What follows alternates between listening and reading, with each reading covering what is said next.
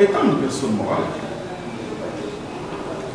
la partie demanderait a cette obligation de pouvoir verser dans le dossier judiciaire ses actes sociaux, car ici nous avons affaire à une personne morale. Moi, j'ai ici l'accusé de réception du greffier, dans lequel ces pièces-là ont été versées. Cette affaire instruite et plaidée oppose la société Inner Clearing à la société Orange RDC ainsi que son directeur général. La société Inner Clearing, qui est une agence en douane agissant par son gérant Emmanuel Mwambakakudi, qui poursuit devant le tribunal de paix de la Gombe la société Orange RDC SA ainsi que son directeur général Jean-Michel Garouté pour faux et usage de faux.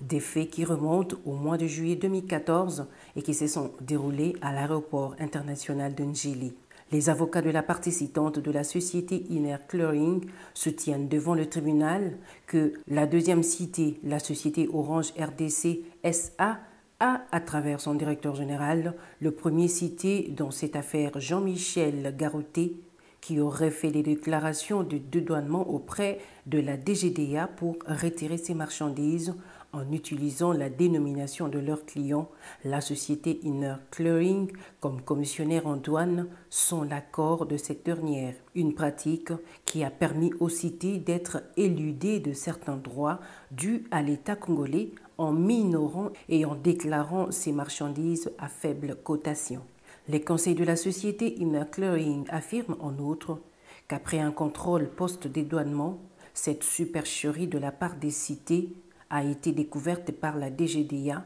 et cette dernière avait établi un procès verbal d'infraction douanière en charge de leur client, la société Inner Clearing SAL, au motif que cette déclaration des dédouanements a été faite sous son label en sa qualité de commissionnaire en douane. Un comportement qui a causé d'énormes préjudices à la société Inner Clearing, selon ses avocats qui font savoir au tribunal que leurs clients n'avaient jamais fait cette fausse déclaration ni été approchés par les parties citées pour faire l'objet d'une telle cotation. La société Inner Clearing, par ses conseils, demande au tribunal de condamner le cité Jean-Michel Garouté, directeur général de la société Orange RDC pour faux et usage de faux, ainsi que son civilement responsable, la société Orange RDC SA au paiement des dommages et intérêts de l'ordre de 3 millions de dollars américains pour tous les préjudices subis. À l'audience de ce jour, après s'être déclaré valablement saisi,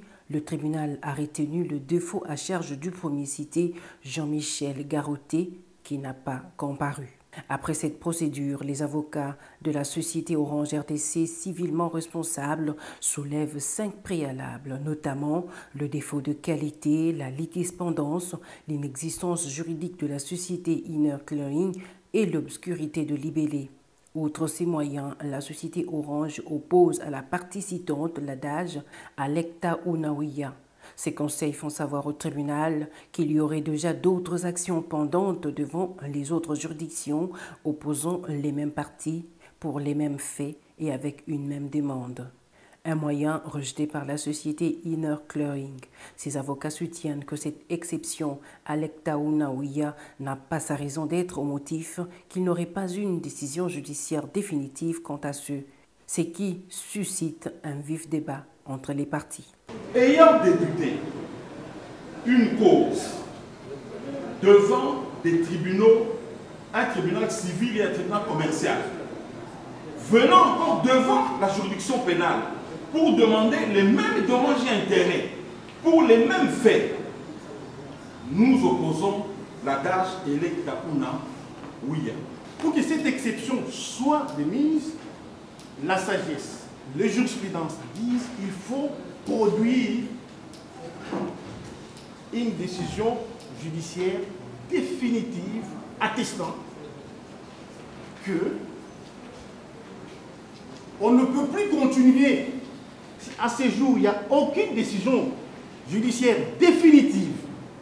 Après ce débat houleux qui a duré plus de deux heures, le ministère public sollicite du tribunal de joindre toutes les exceptions au fond une demande accordée aussi par le tribunal qui décide de poursuivre son instruction. Après avoir été suffisamment éclairé et entendu toutes les parties lors de leur plaidoirie, le tribunal de paix de la Gombe clôt le débat et prend l'affaire en délibéré pour rendre sa décision dans les délais de la loi.